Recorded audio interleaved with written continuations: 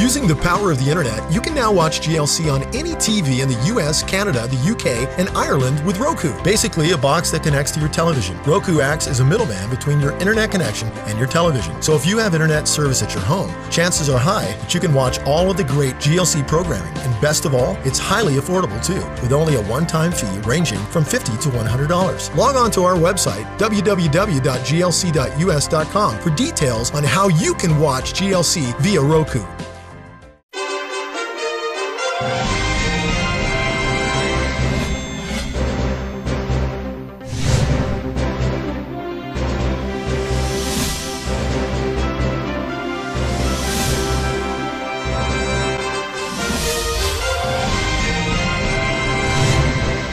Well, welcome to Update News. I'm Amy Cooper, and I'm here with. Dr. Rick Wadge, and I'm glad to be here. well, it's the weekend lineup, so we have um, our lots repeat schedule. First Okay. and foremost, off the bat, and then we'll move along. We have lots and lots of news today. Okay, airing tonight at 8 p.m. It's Friday. Saturday at 2 p.m., Monday 1 a.m., and Monday afternoon at 2 p.m. Umberto Porras and Mario Espinoza. You hosted that this week, all by your lonesome. Yeah, these guys are great, and they have a real heart for God, doing great work in Nicaragua. So it's, uh, it's Well. Umberto's from here, but Mario is a guest at his church. and Umberto has a part to play in that in that uh, ministry there. So it's it's pretty neat. Yeah, so that's kind of a bilingual program too, huh? Mhm. I haven't Yes, seen is. it. Yeah.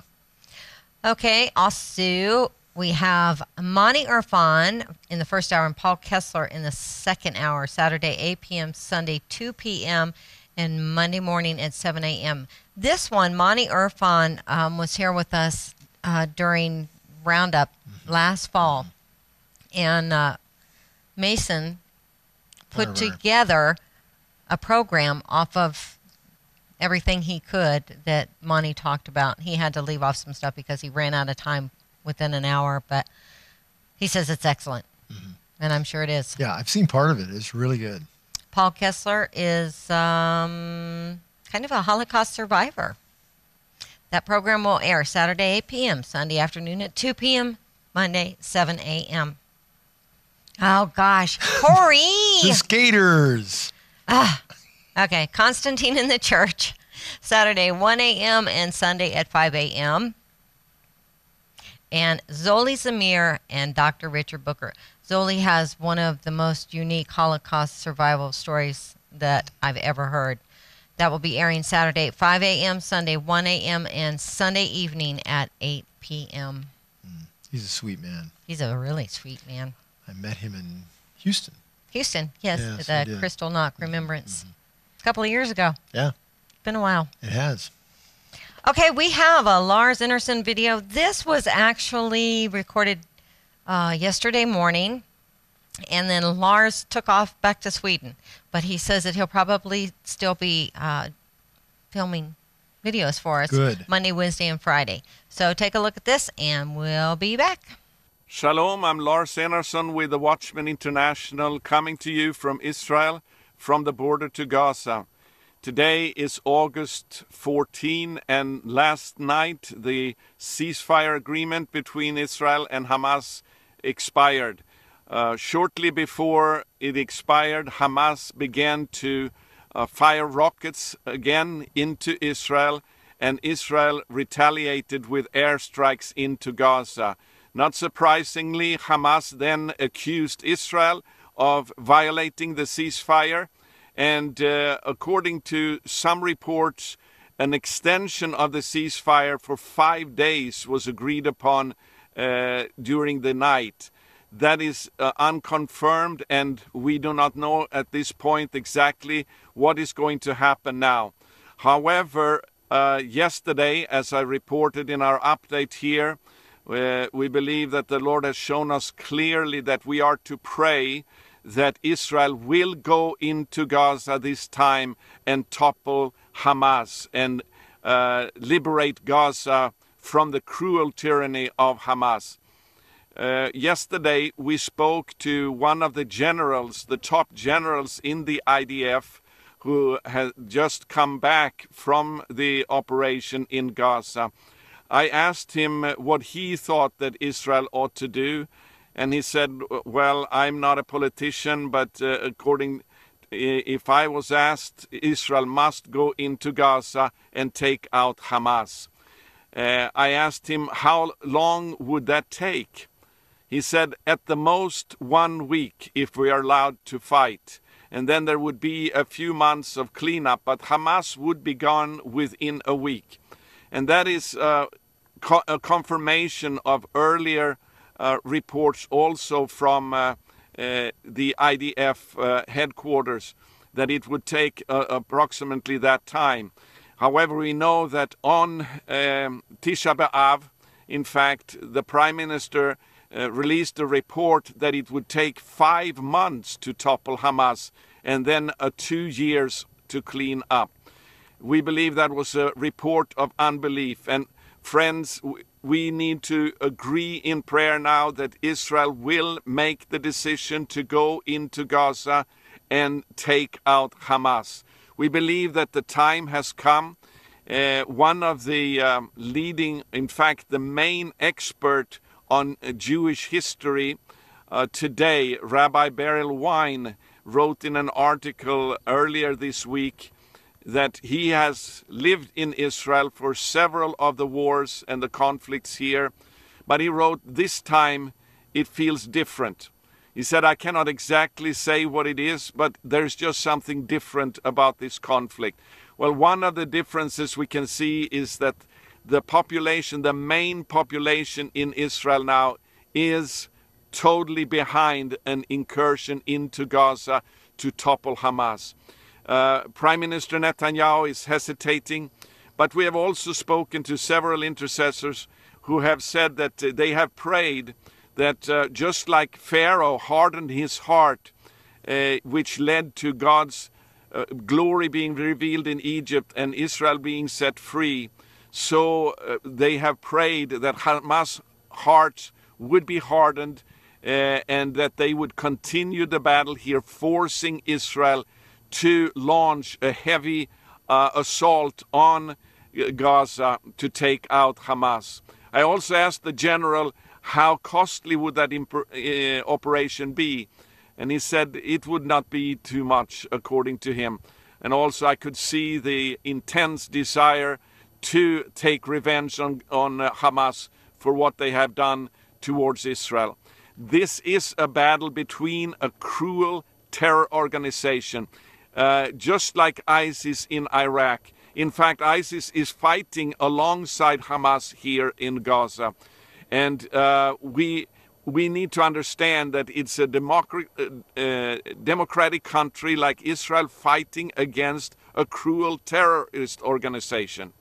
And those who do not uh, support Israel in this uh, um, battle against Hamas, they must remind themselves that sooner or later, if Hamas is not taken out and this terror is exposed and defeated, it will come to their own doorsteps. I urge you to go to our website, thewatchman.org, and subscribe to the prayer reports in the Elijah Prayer Army and stand together with us in the specific prayer points that we feel God is leading us to pray for here now at, that, at this crucial time in history. Uh, I'm Lars Enarsson with the Watchman International from Israel on the border to Gaza. Shalom. Well, we sure have appreciated his mm-hmm. updates mm-hmm. yes, from Israel. Mm-hmm. And since it is now Friday, we can move to the news and find out what's actually going on with that ceasefire. We have an article from the AFP coming out of Gaza City. A fragile ceasefire extension between Hamas and Israel entered its second day on Friday as the two sides in the Gaza conflict ponder Egyptian mediated efforts to secure a, a lasting peace. The calm held throughout Thursday after a flurry of Hamas rocket attacks and Israeli airstrikes the previous night, even if great uncertainty persists on both sides about the future. The Egyptian Foreign Ministry said both sides had agreed to extend the ceasefire for five days to allow more time for thorny negotiations. Israeli negotiators and various members of the Palestinian delegation have left Cairo for consultations with their respective bases and are not expected to return before Saturday night at the earliest. Well, as the ceasefire continued, the Wall Street Journal reported on Thursday that Israel secured supplies of ammunition from the Pentagon last month without the approval of the White House or the State Department. President Barack Obama's administration, caught off guard as it tried to restrain Israel's campaign in Gaza, has since tightened controls on arms shipments to Israel, the newspaper said, quoting U.S. and Israeli officials. The conflict has seen a surge in tensions in the West Bank, including Israeli annexed East Jerusalem. Police arrested 52 Palestinians in East Jerusalem overnight, increasing to more than 600 the number of alleged rioters detained since unrest erupted in early July over the hate killing of a Palestinian teenager by Jewish extremists. And that killing was in retaliation for Hamas killing those three that's right. Israeli boys. Mm-hmm. Ay, ay, ay, ay, Okay, the next one comes from ABC News right here at home. The Secret Service said it is aware of a photo that appeared to show an image of an ISIS flag in front of the White House. If authentic, the photo showed a hand holding up an image of a flag for ISIS, also known as ISIL or the Islamic State displayed on a smartphone on Pennsylvania Avenue in front of the White House fence. That area, closed off to street traffic, is frequented by thousands of tourists every day. A senior U.S. intelligence official told ABC that use of Twitter is consistent with uh, ISIS practices. The group has shown to be at the forefront of social media use among terrorist and militant groups, the official said. Secret Service spokesman Ed Donovan told ABC News, We have an intelligence division whose mission is to assess information that we receive every day for dangerous or potential threat level. We're aware of the image and will take the necessary and appropriate follow up steps. The Secret Service did not respond to an additional question about whether the tweet was believed to be authentic. The FBI has not yet responded to ABC News' request for comment on the tweet, its suspected origin, or whether it signifies a serious threat to the U.S. Another photo displayed a note handwritten in Arabic. It read, Soldiers of the Islamic State of Iraq and Syria will pass from here soon, followed by a Quran verse that read, And Allah is perfecting his light, even though the disbelievers hate that. The note in the image was dated June 20th, 2014. It was unclear where the photo was actually taken, but two American flags appeared over an arched entryway. The tweets read, We are in your state. We are in your cities. We are in your streets. ISIS has issued threats against the U.S. homeland before. In a recent video series embedded with ISIS militants, one ISIS militant says, God willing, we will raise the flag of Allah in the White House. ISIS has swiftly risen to control large swaths of Iraq and Syria after seizing weapons and reportedly selling oil to finance its war against Bashar al Assad in Syria. You know, I'm really hoping that people are in America are kind of waking up a little bit to what's going on. We're hearing a lot in um, secular media about what has been going on in Iraq with the people trapped on the Sinjar Mountain. What's very interesting is like there's still 8,000 people there, mm-hmm. but our administration is saying they're everything's taken care of over there. Why? And we're not going to do any more airdrops. They're still receiving airdrops from other countries mm-hmm. like the UK. UK. Mm-hmm. And you even told me you saw video footage of yes. those people that are trapped there. Yeah. So it's like for some reason we're really not hearing the truth about that. And yeah, I saw it this morning, and the airdrops taking place mm-hmm. from the UK. Mm-hmm. So. Mm-hmm.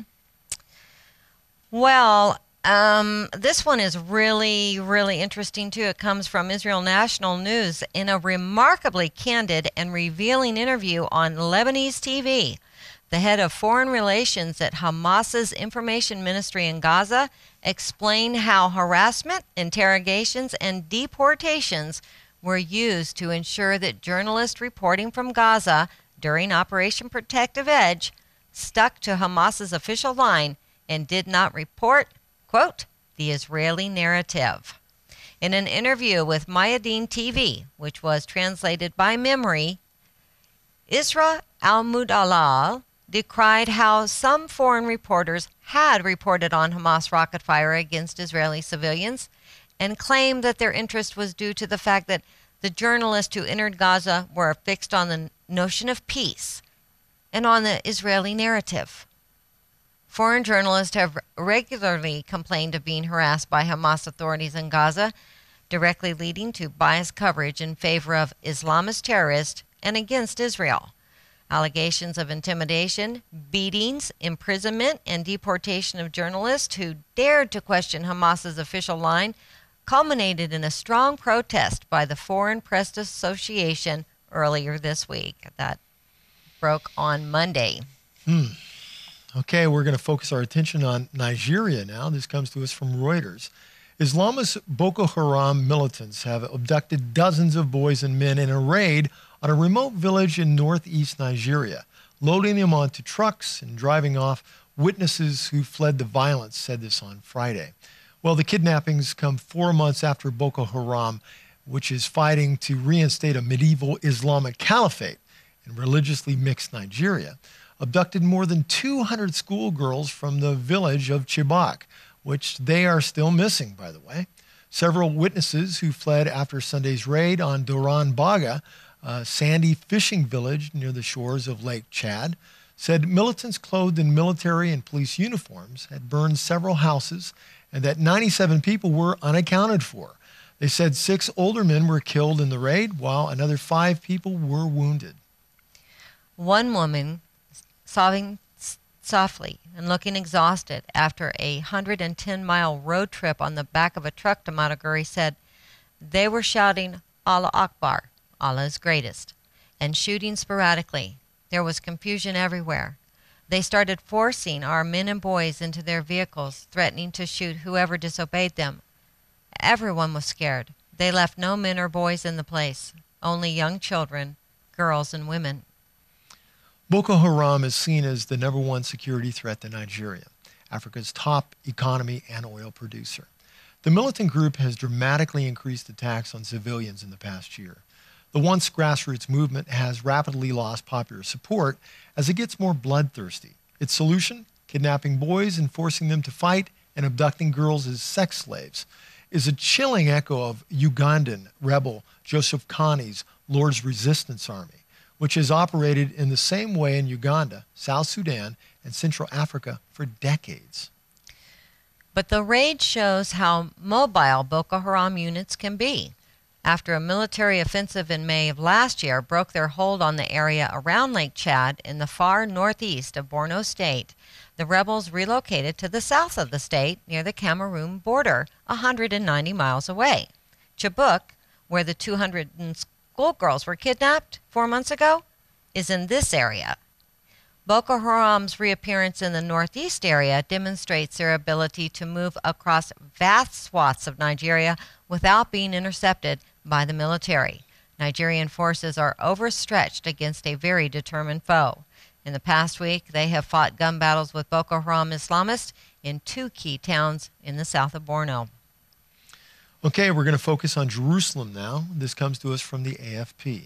Prime Minister Benjamin Netanyahu lashed out Wednesday at the 47 member UN Human Rights Council, accusing it of granting legitimacy to terror organizations by investigating Israel for alleged war crimes in Gaza. He accused the body of overlooking massacres committed elsewhere in the Middle East, but investigating Israel for defending itself against rocket attacks from Gaza. Netanyahu stated, Instead of investigating Hamas attacks on Israeli citizens and its use of Gazans as human shields, the UN decided to come and investigate Israel, the only democracy in the Middle East, a democracy acting legitimately to defend its citizens against murderous terror. First, let them carry out an investigation in Damascus, in Baghdad, in Tripoli. Let them go and see the Islamic State and the Syrian army and Hamas. It is there, not here, that they will find war crimes. Israel has long had stormy relations with the UNHRC, which it accuses of having a built in bias against the Jewish state. In January 2012, it became the first country to refuse to attend a periodic review of its human rights record. And two months later, it cut all ties with the Council over its plans to probe how Jewish settlements within the land of Israel were harming Palestinian rights. For Israel, the threat of another fight, not on the battlefield but in the courts, materialized on Monday with the appointment of a UN committee to investigate all violations of international human rights and humanitarian law in the occupied Palestinian territories since mid June. The investigators are due to present their findings to the UN Human Rights Council in March 2015, but Israel has already denounced its chairman, William Schabas, as anti Israel and its findings as inevitably biased. In a series of interviews with the Israeli media, Schabas on Tuesday defended himself against allegations of bias. Asked by Channel 2 television if he would describe Hamas as a terror organization, he said it would be inappropriate to answer such a question and urged Israel to participate in the inquiry. That's shocking to me. Hamas, whose own activities will also be investigated by the Commission, welcomed its creation and called for it to start work as soon as possible. The Palestinians, who in 2012 obtained non member observer status at the United Nations, say they will soon try to haul Israelis before the International Criminal Court for alleged war crimes. For Israel, perhaps the most serious outcome would be for foreign courts to issue arrest warrants for military officers or even politicians. Brace for fresh accusations. Justice Minister Tzipi Livni uh, has appointed a team of legal experts to draw up not only a line of defense, but also Israel's line of attack. In 2009, a British court issued an arrest warrant for Livni, one of the most moderate voices in the current Israel government, after Palestinian activists made an application over her role as foreign minister during Operation Cast Lead, a 2009 conflict. Britain has since amended the law to ensure that private arrest warrants for such offenses would first have to be approved by the chief prosecutor. While having been falsely accused in the past, the Israeli army has been preparing from the start of Operation Protective Edge for any legal fallout by forming its own committee of military experts. We created this investigative committee after Operation Pillar of Defense, Captain Ari Shalicar told the AFP, referring to an eight day confrontation with Gaza militants in November of 2012. This time, we activated it during the operation to document each event, particularly the most tragic, in which lots of civilians were killed. The cornerstone of our work is principally provided by military intelligence, which examines each operation ahead of time, he told the AFP. For example, if a house in Gaza was used to fire a rocket on Israel, then according to the laws of war, it becomes a military position and therefore a legitimate target. Makes sense to me. Makes sense to me too. Okay, this comes to us from Reuters. Israel has evidence that almost half the Palestinians killed in the 25 day old Gaza conflict were combatants, its deputy foreign minister said on Saturday pushing back against the international allegations of a heavily lopsided civilian death toll. Israel says it has done everything possible to avoid harming innocents, and that Gaza's dominant Hamas uh, Islamists invite such casualties by operating in densely populated areas. There is research being done in the military, very professionally and reliably, whose conclusion is that at least 47% of the fatalities are terrorists, uh, with photographs and names. Tzahi Hanegbi told Israel's Channel 2 television, adding that the data would be presented to investigators. He did not elaborate. Israel has rejected the UN Human Rights Council's probe announcement, describing the forum as biased.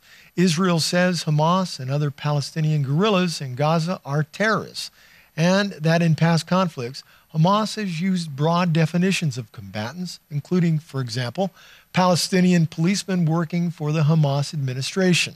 Gazan human rights groups are claiming that at least 80% of Palestinians killed during this conflict were non combatants. Hmm. And another article from Reuters uh, out of Tel Aviv. Some 10,000 Israelis protested on Thursday in a Tel Aviv square against what they see as the failure of a five week Gaza conflict to decisively halt rocket and mortar fire at southern towns bordering Gaza. Many demonstrators were bussed in from parts of Israel hardest hit by rocket barrages in the recent fighting, joined by supporters in the Israeli business hub that also came under rocket fire on a daily basis in the fighting since July 8th.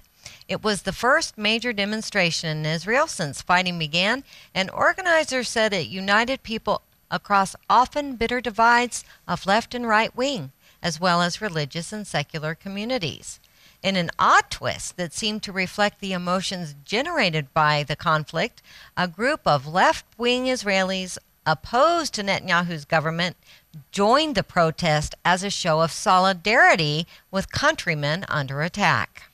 Well, no one criticized Netanyahu personally. Indeed, he was thanked, along with the military, for taking on Hamas in the latest hostilities. Although the Israeli government has pledged that the conflict would restore calm to southern Israel, in addition to destroying underground tunnels seen as launching pads for future attacks, many demonstrators were wary that more Hamas hostilities will erupt once the ceasefire ends. Many felt the Israeli military should destroy the rocket arsenals of Hamas militants who dominate Gaza. Alon Davidi, major mayor of Sderot, of the more rocket battered border town, said, We're tired of promises. We fear the agreements may result in compromise at our expense. Our lives are not cheap. We're not ready to accept a continued hail of deadly fire from Gaza. The situation must finally be brought to a resolution. We cannot just let some terrorist group make us dance to their music. In a proper country, the army protects its citizens, and that's just what Israel must let the army do. Applauding Davidi, along with thousands of others, one 39 year old protester, a father of four from a collective farm near Sderot, told a reporter he thought Israel had to destroy Hamas, which rejects Israel's right to exist. We feel as though there may be a ceasefire now, but wait another year and the situation will be worse than it was when the war began. We must crush them. Hamas must not be allowed to decide whether my family may sleep peacefully at night, he said. Very true. Or even drive on the roads. Listen to this one. This comes from Israel National News as well. 79 year old Rabbi Levinger was among several Jewish motorists targeted as they traveled along Route 60 close to the Jewish village of Karmei A gang of Arab youths ambushed his car and pelted it with rocks, shattering his window as well as the front passenger window. The rabbi was treated for light head wounds at Kiryat Arba Medical Center his son Malachi Levinger, condemned the attack, saying, Terror has reared its head and dared to indiscriminately attack Jews in every city and settlement in the country. He said it was a miracle his father had emerged relatively lightly from the attack, but warned that this should not lead to complacency because many others have been killed or maimed in similar attacks. He called on security forces to act with a firm hand against rioters and bring to bear the fullest extent of the law against them. Rabbi Levinger is one of the founders of the modern day Jewish community in Hebron, whose ancient Jewish community was completely wiped out during the 1929 Hebron massacre by local Arabs. He is also one of the founders and a former leader of the Yesha Council, which represented the Jews of Judea and Samaria. I have to say that I, I was not aware of what had happened in Hebron. Are you more familiar with that? Yeah, a little bit. Yeah, they completely wiped them out. Hebron to this day is a very dangerous place to live, and that is actually why um, Arabs have control over Machpelah. Machpelah, which is where Abraham, Isaac, Jacob, all the, the fathers of the faith and their wives are buried. That's right. So it's still a tumultuous place even today. Yeah. When I do research on something like that, well, I started looking up some other things. And by the way, that picture of the guys with rocks, that was for illustration purposes, but those are the size of the rocks that they are actually pelting at them. But there have been quite a few of those attacks in Israel mm. just this year, since January. Wow. Well, we love you. We appreciate you. Thank you for standing with us and standing with Israel. Have a great weekend. We'll see you on Monday.